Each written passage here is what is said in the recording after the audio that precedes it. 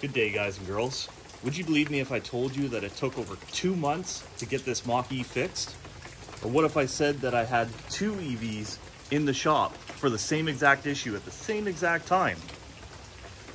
What if I said that a popular content creator or journalist would get the same exact issue fixed within two days? Well, if you are a Ford Mustang Mach-E or F-150 EV owner, buckle up because this is going to be a long and wild journey, so stay tuned.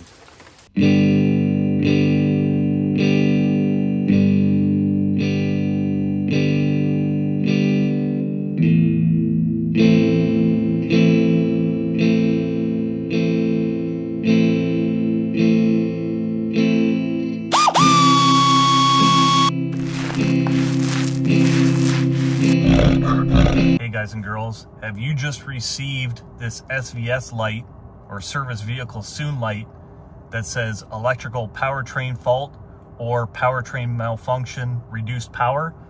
Stick around, I'll show you how to diagnose this and what the actual fix is gonna be in the end. So stay tuned and stick around. So happy Tuesday, guys and girls. Yesterday was uh, family day or I think President's Day. And as you can see, we've got this warning light on in my Mach-E now, and I'm concerned that uh, I'm doing damage to the vehicle. I don't know if I've ever had one with the little um, exclamation mark in the middle. When I got to work here, which is 40 miles or 60 kilometers from my house, uh, it said that it was a electrical system drain fault and my vehicle might shut off unexpectedly.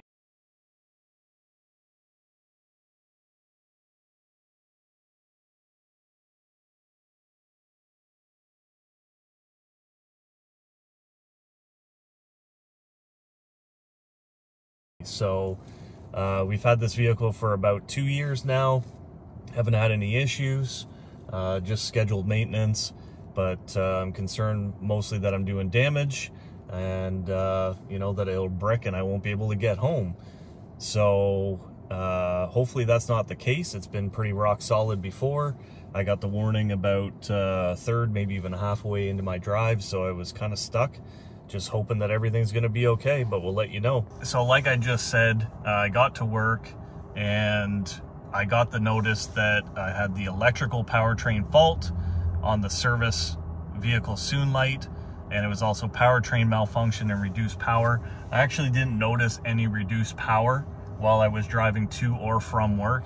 And again, that distance is 60 kilometers each way uh, 120 kilometers total, which I think is around 75 miles, something like that. Had no issues getting to or from work. Uh, when I got to work, I checked my Ford app, the Ford Pass app, and basically it just said stop your vehicle as soon as possible, shift to park, switch your vehicle off, and attempt to restart it. If the fault remains, contact your authorized dealer as soon as possible. So I did that and then what I did is I also went out at lunchtime and I put it on the charger at work. I charged it up to, I think it got up to 81%.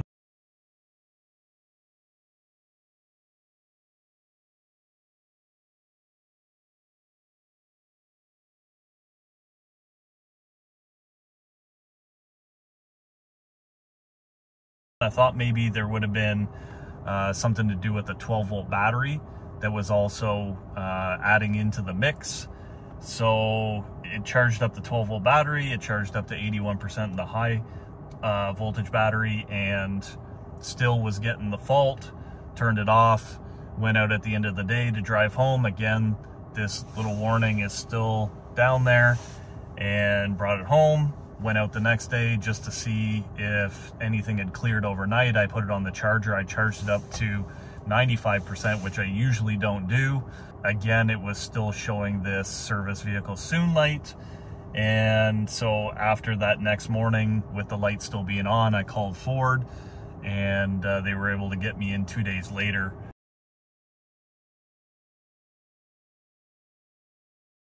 Uh, which is actually tomorrow. So it goes in first thing tomorrow morning. Just from the little bit of research that I was doing, uh, the first thing they're going to look at, I guess, is whether it's the uh, shift knob, if there's some kind of uh, issue or damage to the shift knob, I guess that can throw things off. But it seems like the most common issue is this HVBJB or the high voltage battery junction box that is likely the issue. And there was a recall at some point for these HVBJBs, but mine was not included in that. So hopefully, first of all, hopefully that's not the issue. Uh, but second of all, if it is the issue, that Ford has the parts available and we won't be down for a long period of time.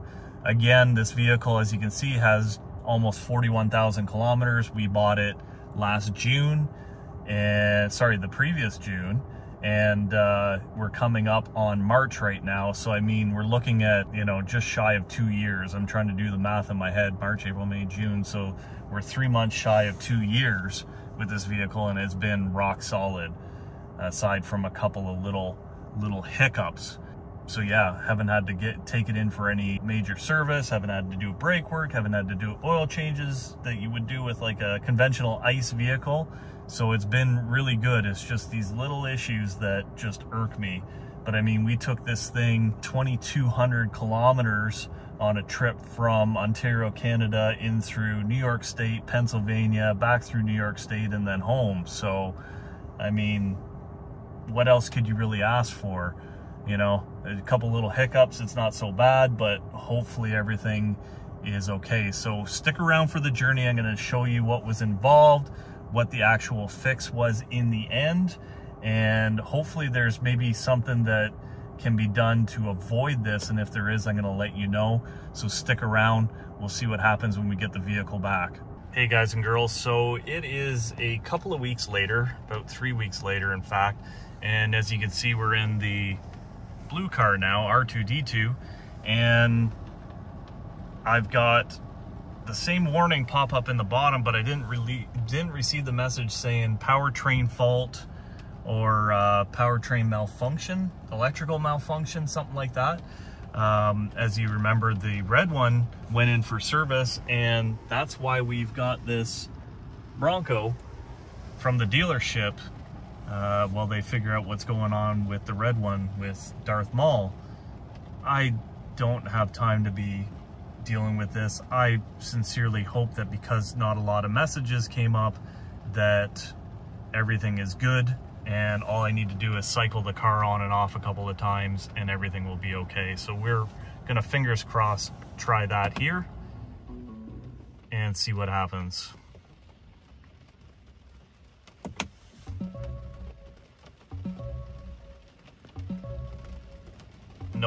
It says service vehicle soon.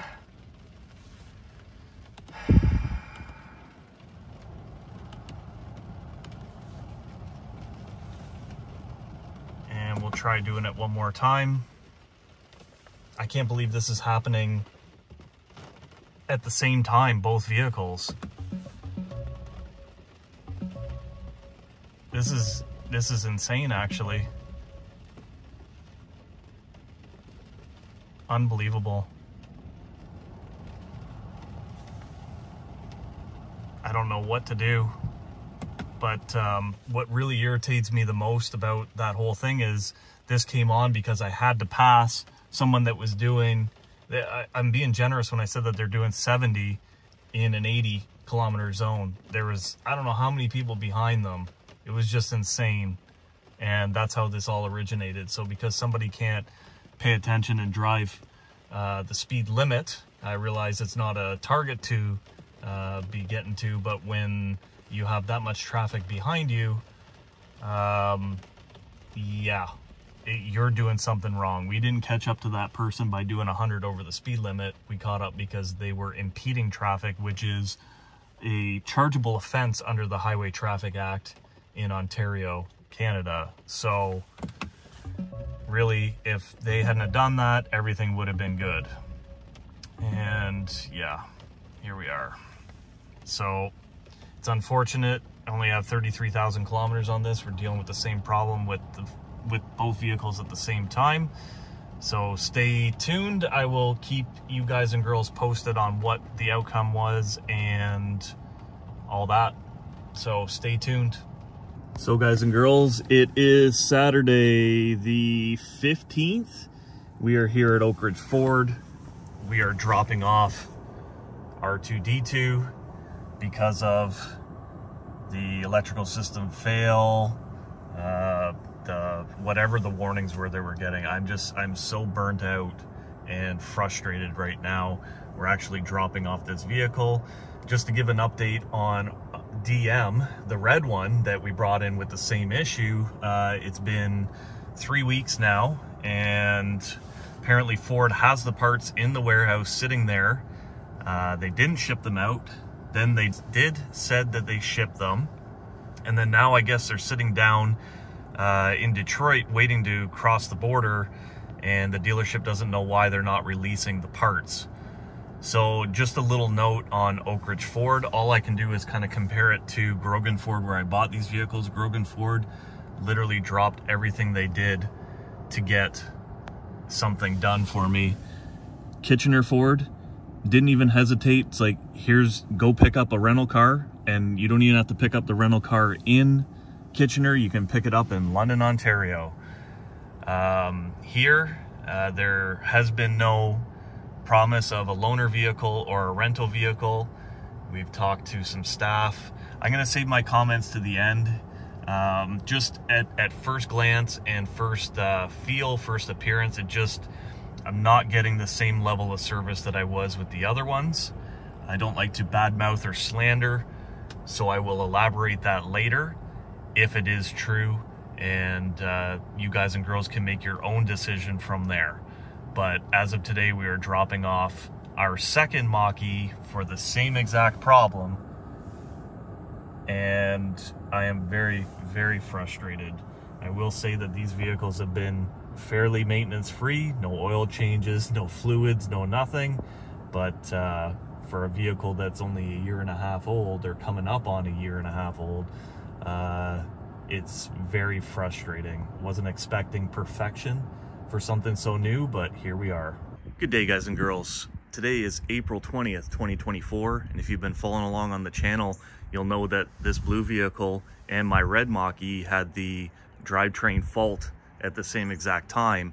And what that means is that the high voltage battery box needs to be replaced. Luckily, this one here was replaced in a week now the red one went in on February 21st, 2024. So we are one day shy of two months. And luckily enough, Oak Ridge Ford has given us this Bronco that we can use, but we've been using their vehicle for two months and we've been making payments on that red vehicle for two months. I want to ask Ford what is going on. Yes, I understand the part needs to match my VIN, but I just read an article in Motor Trend. Motor Trend had a long-term test fleet and one of them was the Ford F-150 Lightning. Ford bent over backwards to fix their problem, give them a Mach-E and get them on the road.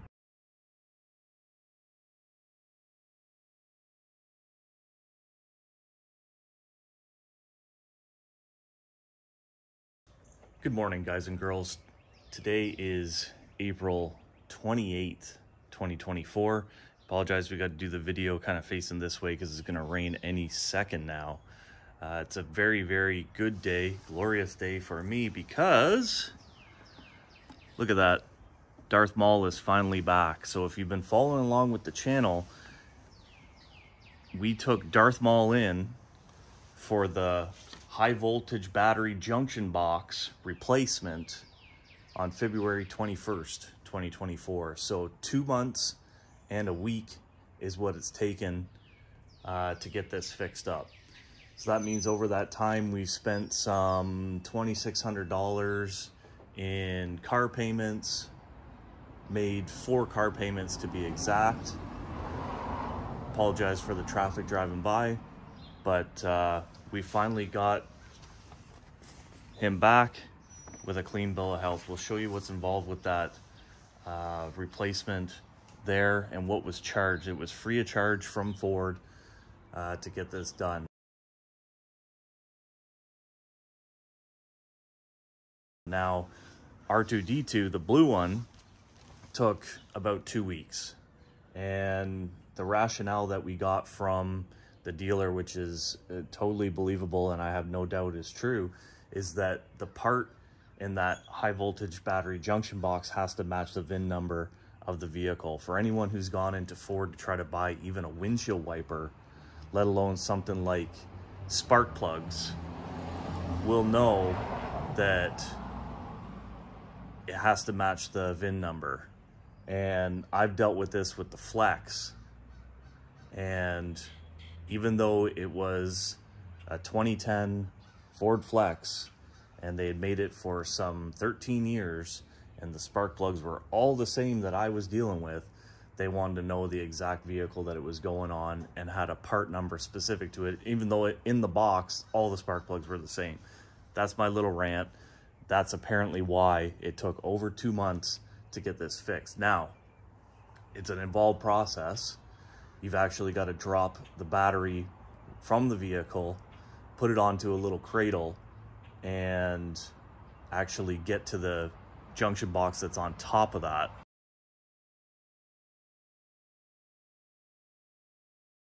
So it's quite an involved process. I'm sure that it's done that way for a reason, but the part was literally apparently sitting in LA, got shipped up to Detroit, and was stuck at the border for some two months. And that's pretty disheartening when you go ahead and read the Motor Trend Car of the Year issue.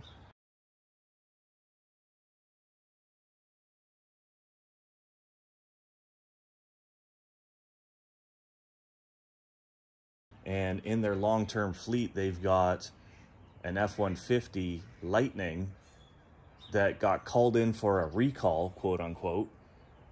And they literally got the recall notice, took it in. Ford gave them a Mach-E that they could drive around, not a Bronco like what we had. And they had it fixed within a few days. So I hope that I don't have the information mixed up there and that I'm not missing something.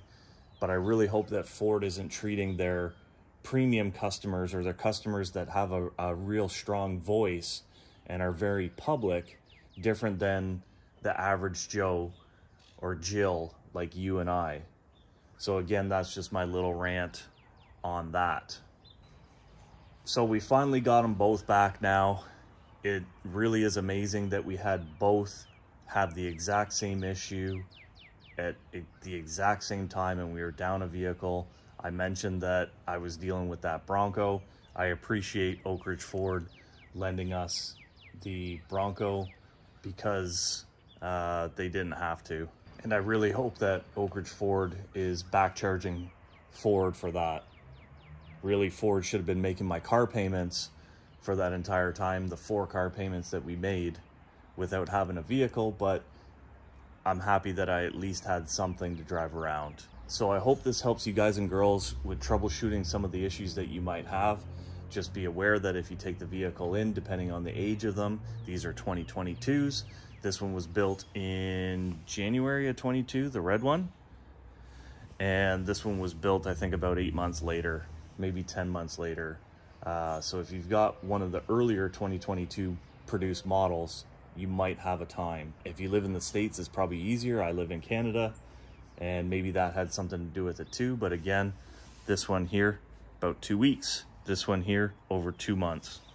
Same year, same vehicles, same everything. Long range, all-wheel drive, just very, very frustrating.